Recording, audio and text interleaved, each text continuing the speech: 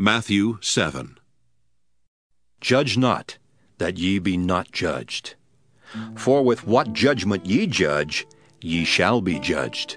And with what measure ye meet, it shall be measured to you again. And why beholdest thou the mote that is in thy brother's eye, but considerest not the beam that is in thine own eye? Or how wilt thou say to thy brother, Let me pull out the mote out of thine eye? And behold, a beam is in thine own eye. Thou hypocrite! First cast out the beam out of thine own eye, and then shalt thou see clearly to cast out the mote out of thy brother's eye.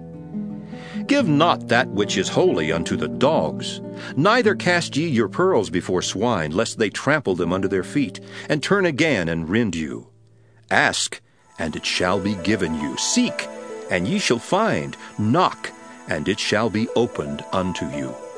For every one that asketh receiveth, and he that seeketh findeth, and to him that knocketh it shall be opened. Or what man is there of you whom if his son ask bread, will he give him a stone? Or if he ask a fish, will he give him a serpent?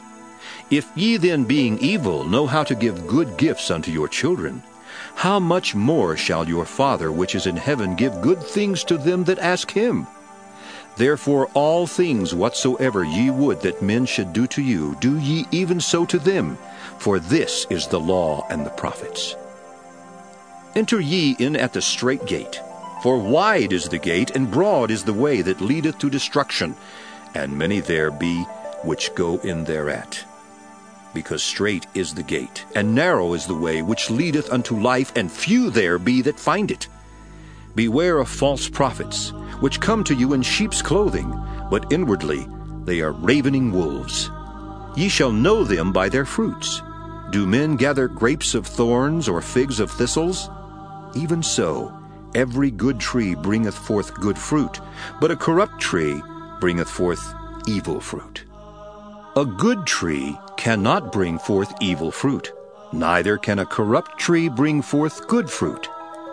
Every tree that bringeth not forth good fruit is hewn down and cast into the fire. Wherefore by their fruits ye shall know them. Not every one that saith unto me, Lord, Lord, shall enter into the kingdom of heaven, but he that doeth the will of my Father which is in heaven. Many will say to me in that day, Lord, Lord, have we not prophesied in thy name, and in thy name have cast out devils, and in thy name done many wonderful works? And then will I profess unto them, I never knew you. Depart from me, ye that work iniquity. Therefore, whosoever heareth these sayings of mine, and doeth them, I will liken him unto a wise man, which built his house upon a rock.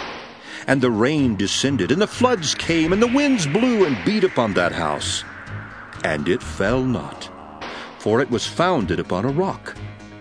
And every one that heareth these sayings of mine, and doeth them not, shall be likened unto a foolish man, which built his house upon the sand. And the rain descended, and the floods came, and the winds blew and beat upon that house. And it fell, and great was the fall of it. And it came to pass, when Jesus had ended these sayings, the people were astonished at his doctrine, for he taught them as one having authority, and not as the scribes.